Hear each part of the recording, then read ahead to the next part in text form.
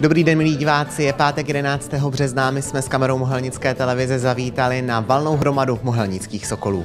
Dnes, dnešní valná hromada je zvláštní, protože po třech letech je volební valná hromada, takže dnešním hlavním cílem je zvolit nové funkcionáře naší jednoty. To znamená, že se bude volit jak starosta, místo starosta, tak i všichni členové výboru. To za prvé a za druhé cílem je vyhodnocení loňského roku minulých třech let a samozřejmě stanovení si dalších cílů na další tři roky. Paní Krpcová, jak je na tom Sokol z vašeho pohledu dnes v Mohelnici? No tak já si myslím, že dobře. Jo? E, cvičí nám děti, z čeho mám jako velkou radost, no potom e, ty oddíly sportovní jako cvičí a ženy cvičíme prostě. Já cvičím ženy, paní Pevná jako cvičí ženy a my ještě nacvičujeme e, prostě na sled. Letos eh, v listopadě pojedeme do Prahy, tam bude předváděčka, no a příští rok už se zase začne nacvičovat.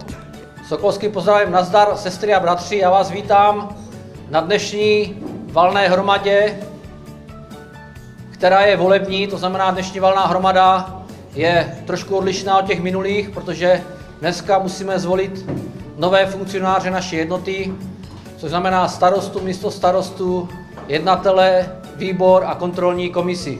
Jak je na tom Sokol v Mohelnici dnes? Já si myslím, že je velice dobře, protože máme stálou členskou základnu. K dnešnímu dní máme 450 členů.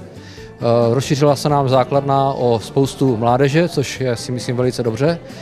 Podařilo se nám rozšířit i počet oddílů, takže si myslím, že i do budoucna Sokol jako takový má tady dobré základy. A jak je na tom Mohelnický Sokol z té stránky financí? Já si myslím, že dobře eh, s financemi naše jednota na tom, protože během posledních let jsme nastavili takové kroky a prvky, aby jsme byli eh, soběstační. Samozřejmě eh, potřebujeme ke své činnosti i dotace, které máme zejména od města Mohelnice a Olomouckého kraje. Poměrně krátkodobě funguje v Mohelnici oddíl badmintonu. Jak je na tom dnes badminton? Tak já bych neřekla, že krátkodobě. Založili jsme 2012 a z původních nějakých 20 členů už jich máme skoro 40. No, minulý rok byl velice zajímavý. Měli jsme spoustu zakázek v České republice na Slovensku a tento rok nás čeká spoustu vystoupení na Mikulovské vinobraní, Litoměřické vinobraní, Slovensko dvakrát, takže máme tenhle rok 2016 plně nabitý. Jaké vám poskytuje Mohelnický Sokol zázemí?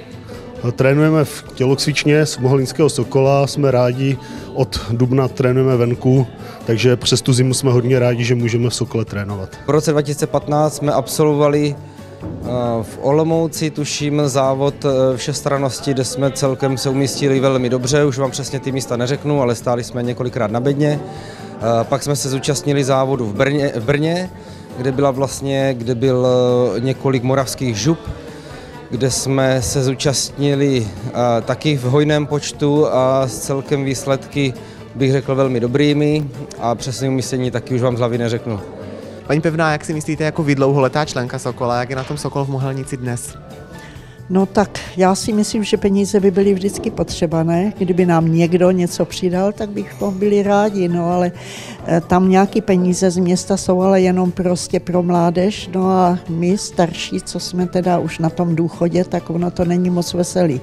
Takže asi tak nějak, no ale chodíme cvičit a myslím si, že bez toho Sokola stejně nebudeme, kdyby neměl ani korunu, tak tam budeme stejně chodit.